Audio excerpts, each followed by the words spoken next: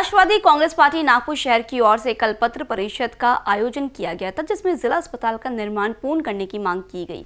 इस दौरान शहर अध्यक्ष Rashtrawadi Congress party Duneshwar Pethe, Rashtrawadi Congress party की शहर उपाध्यक्ष राजा बैग एवं राष्ट्रवादी कांग्रेस पार्टी के कार्यकर्ता उपस्थित थे। इस दौरान दुनेश्वर पेठे बोले, कोरोना काल में हम उपराजधानी वासी महँगे इलाज और उपचार के भारी संकट को झेल चुके हैं। ऐसे में गरीब जनता की राहत के लिए बुनियादी स्वास्थ्य सुविधा के रूप में जिला अस्पताल का निर्माण अविलंब कराया जाना चाहिए। कहने को हमारा शहर स्मार्ट सिटी बन रहा है, लेकिन यहाँ अब तक जिला अस्पताल नहीं है। इस अस्पताल के निर्माण में ठेकेदार को एक्सटेंशन देकर उसे ही राहत दी जा रही है और लागत बढ़ाने का काम हो रहा है। वक्त दिखा चुका है की मैदानों और ट्रेनों तक को अस्पतालों में में तब्दील करना पड़ा था। कोरोना का संकट थम गया तो हम इस अहम ज़रूरत को भी जैसे भुला बैठे हैं। जिला रुग्णालय के निर्माण को मज़ाक बनाने की बजाय इसका काम पूरा करवाया जाए, ऐसी मांग इस दौरान की गई। बाइट इसके साथ ही वे बोले 2 मई 2018 से इस अस्पताल का निर्माण शुरू हुआ। 24 माह में इसका निर्माण पूर्ण करना था। 100 बेड वाला अस्पताल बनाया जाना है। इस अस्पताल का निर्माण पीडब्ल्यूडी करवा रहा है। दो साल में पूरे होने वाले काम के लिए चार साल, चार माह का वक्त लग चुका है। एस प्लांट, ऑक्सीजन प्लांट तैयार नहीं है। लिफ्ट, बिजली कनेक्शन, ड्रेनेज लाइन का काम अधूरा है। अतिरिक्त कामों के लिए पंद्रह करोड़ रूपए की संशोधित लागत का प्रस्ताव भेजा गया है, जो राज्य शासन ने अभी तक मंजूर नहीं किया है।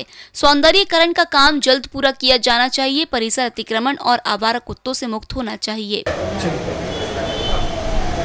आपल्या नागपूर शहरामध्ये दोन हजार अठराला जिल्हा रुग्णालय आतापर्यंत नागपूर शहरामध्ये कुठलंही शासकीय दवाखाना नव्हता परंतु जिल्हा रुग्णालयाचं काम दोन हजार अठराला सुरू झालं.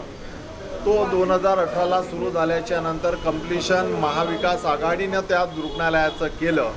ते कम्प्लिशन झाल्याच्या नंतरसुद्धा आता हल्लीची आता परिस्थिती अशी आहे की तिथे गुरे ढोरे तिथे गाढवं तिथे बकऱ्या अशा पद्धतीनं तिथं तो प्रवा तो परिसर झालेला आहे.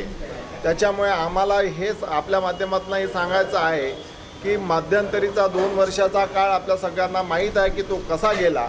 सगळ्यांना आपल्या जवळचे नातेवाईक आपल्या जवळचे संबंधातले लोक गमवावं लागले. आणि अशा वेळेसही महाराष्ट्र सरकार हल्लीची जी सरकार आहे ती सरकार जर गांभीर्यात नसेल तर त्याच्यासाठी आम्ही इथे ते पत्रकार परिषद आम्ही त्याच कारणाने घेत आहे. की कमीत कमी जिल्हा रुग्णालय मेओ आणि मेडिकलच्या भरोशावर आपण किती दिवस राहायचं? ते एक जिल्हा रुग्णालय हे जर हक्काचं जे मिळालं आहे नागपूर शहराच्या ना नागरिकांना त्या नागरिकांना त्याचा ते बनवून इमिडिएटली जेवढ्या लवकर होत असेल तेवढ्या लवकर त्याला सुरू करून त्याला चालू सुरू करावे याच्या विनंतीसाठी आम्ही इथे आलो. कॅमेरा पर्सन राजकुमार मोहडके साथ क्षितिजा देशमुख बीसीएन न्यूज नागपूर.